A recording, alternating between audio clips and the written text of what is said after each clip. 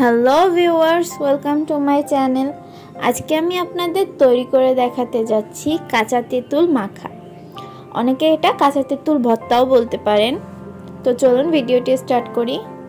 So এখানে আমি কাঁচা তেঁতুল মাখা করার জন্য বড় বড় চারটে কাঁচা তেঁতুল নিয়ে নিয়েছি।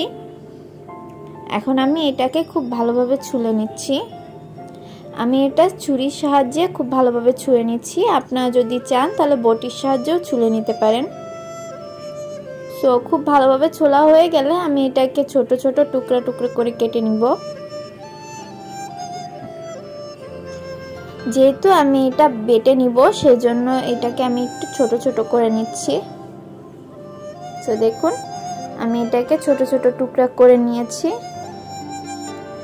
এখন আমি এর ভিতরে নিয়ে নিচ্ছি কাঁচা মরিচ দুটো আর কিছু ধনে পাতা আর এগুলোকে আমি খুব ভালোভাবে বেটে নিব।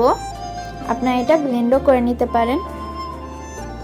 সো আমি মিহি করে এটিকে বেটে নিয়েছি। খুব ভালোভাবে বাটা হয়ে গিয়েছে। আমি আপনাদের দেখিয়ে দিচ্ছি। দেখুন, মিশ্রণটা খুবই সুন্দর হয়েছে।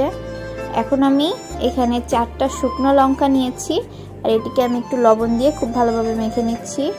আর তার ভিতরে আমি দিয়ে দিচ্ছি সামান্য পরিমাণে সরিষার তেল। দিয়ে আমি এটিকে খুব ভালোভাবে মেখে নিব।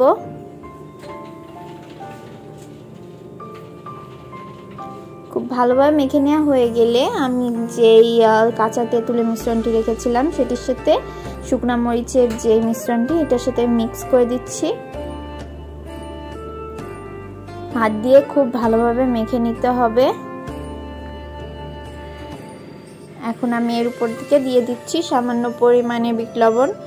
এটা স্বাদের উপর ডিপেন্ড করে। আমি একটু বেশি পরিমাণে নিয়েছি, আপনারা চাইলে কমও দিতে পারেন। সো আমাদের কাঁচা তেঁতুলের মাখা একেবারেই রেডি হয়ে গিয়েছে।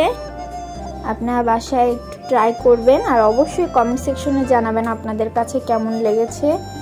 এটি খেতে কিন্তু অসাধারণ লাগে।